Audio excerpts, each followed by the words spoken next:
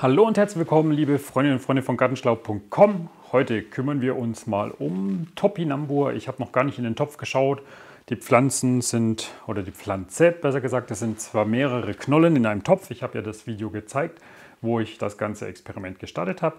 Ähm, hat sich sehr gut entwickelt. Man sieht, die sind sehr schön gewachsen, haben allerdings dieses Jahr noch nicht geblüht. Ähm, für eine Sonnenblume ist das natürlich ähm, Schade, denn sie hat auch sehr, sehr schöne, attraktive Blüten. Aber das war der erste Versuch. Der nächste Versuch kommt nächstes Jahr mit ein bisschen mehr Platz. Dieses Jahr war es nur in einem 10 Liter Container möglich, das Ganze mal auszuprobieren.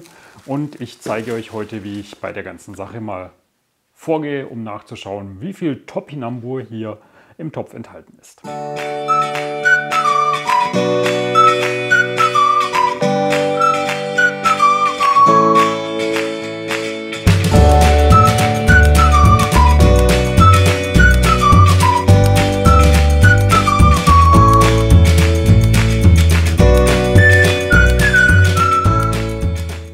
Erntet man am besten Topinambur? Topinambur ist eine Pflanze bzw. ist ähm, eine Kultur, die man im Idealfall im Herbst erntet. Man muss die Phase äh, abwarten, wo es darum geht, dass einmal das sehr trockene Sommerwetter einmal vorbei ist, die Pflanze nochmal richtig Kraft saugen kann, weil bei trockenem Wetter ist das so, dass die Knollen im Boden zusammenschrumpeln und dann ist natürlich die Ernte entsprechend klein bis äh, komplett ausgefallen. Kann natürlich passieren, je nach Witterung. Jetzt hat es die letzten Tage von den Temperaturen ähm, etwas abgenommen. Es ist deutlich kühler. Nachts geht es teilweise sogar unter die 10 Grad Marke und tags schaffen wir fast nicht mehr die 30 Grad. Je nach Region kann es natürlich noch mal kurz über 30 Grad gehen. Nächste Woche zum Beispiel soll an der 30 Grad Marke so ein bisschen gekratzt werden, 26, 28 Grad. Soll aber jetzt hier kein Wetterbericht werden.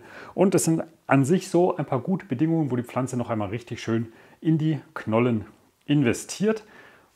Und natürlich viel zu spät sollte man auch nicht dran sein, denn wenn dann der Winter oder der Herbst ist und der Boden ähm, durchgefroren ist, dann kommt man natürlich zum einen erstens nicht an die Knollen ran und zum anderen ist das auch nicht der ideale Zeitpunkt. Also so die Übergangsphase September, Oktober ist geradezu ideal für die Ernte von Topinambur. Deswegen schauen wir jetzt einfach mal in den Topf hinein.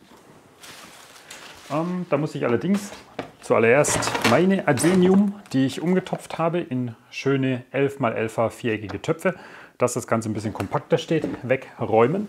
Und dann gehen wir auch direkt an Topinambur ran. Der Arbeitstisch ist noch bedingt der Adenium-Umtopfaktion etwas belegt. Da das alles allerdings Kokoserde ist, ist das gar nicht so dramatisch. Wie ich schon mal in einem Video gesagt habe, Kokoserde kann man vom Prinzip her auch direkt so essen. Was natürlich kulinarisch bedingt nicht unbedingt ideal sein sollte. So, zuerst machen wir das Schildchen weg. Dann kann man hier die Stabilisierung wegmachen. Hätte man an sich auch nicht gebraucht. Allerdings war es hier und da dann doch wieder ein bisschen windig und die ganze Geschichte ist umgefallen.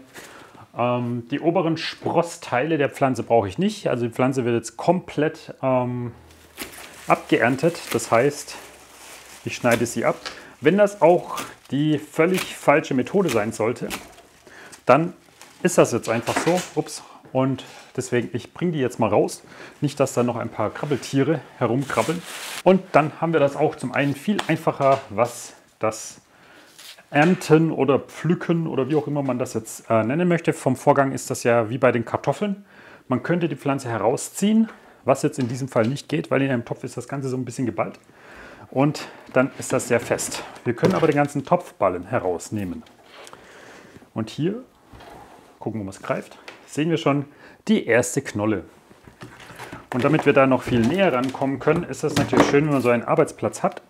Den werden wir auseinander pflücken. Wie gesagt, also der Maßstab hier ist nicht unbedingt, ähm, dass alles komplett und richtig sein muss, was ich jetzt hier mache. Das war das erste Mal, wo ich das dieses Jahr anbaue. Von daher ist das für mich auch ähm, interessant.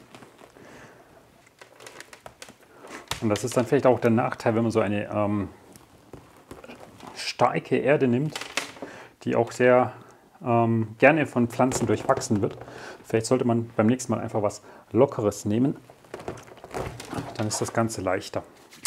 So. Ich bin gespannt, ob da jetzt groß was dabei herauskommt oder auch nicht. Oder ob das ungefähr bei der Menge bleibt, wie die Pflanzen ausgepflanzt worden sind über die Anzahl der Knollen. Irgendwie habe ich so den Eindruck. Eventuell hätte ich auch länger warten müssen. Könnt ihr gerne in die Kommentare schreiben, wenn ihr sagt, hey, probier's doch nächstes Mal so und so aus. Aber hier haben wir doch schon mal eine schöne Knolle. Die sammle ich jetzt einfach mal hier in diesem Topf. ist